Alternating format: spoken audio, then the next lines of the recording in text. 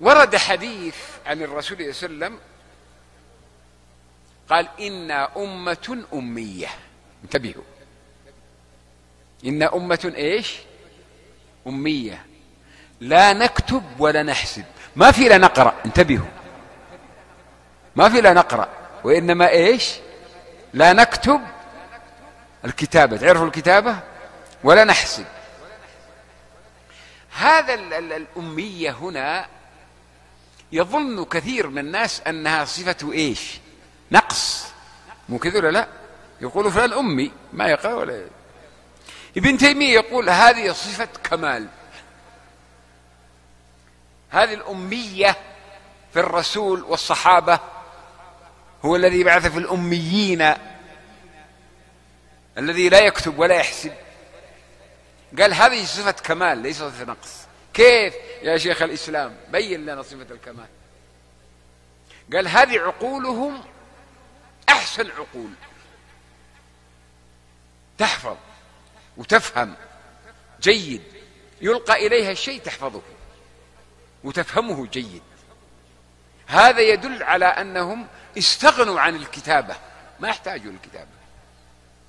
الكتابة تحتاج إلى إيش؟ ها؟ قلم وتعلم وحرف ويطلع وينزل ويكتب هذا ما يحتاج في عقله. يحسب حتى الحساب في عقله. يا بعض العمليات الحسابية عند السلف يفعلونها ولا أعظم كمبيوتر. هذه أمية. أليس كذلك ولا لا؟ ما عندهم آلة. مستغنين عن آلة. أعطاهم الله عقول جيدة. ابن تيمية يقول هذه العقول التي استطاعت أن تعي وتحفظ القرآن هذا كله بعقله ويفهموه. ما يحتاج إلى كتابة. ما يحتاج إلى شيء يفهم فاهم. هذه هذه صفة كمال ما هي صفة نقص. أنت لما تبغى تحسب تأخذ لك آلة حاسبة. دق دق. إذا ما عندك حاسب ما تعرف تحسب. يعني كذا قشمان ما كفاية. مو كذا ولا لا لو أقول لك احسبنا اضرب لنا 35 في 160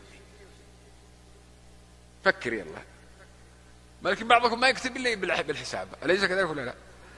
هؤلاء كانوا يحفظون بعقولهم. يضرب لك 85 في 60 في 160 ويجيب لك إياه بعقله.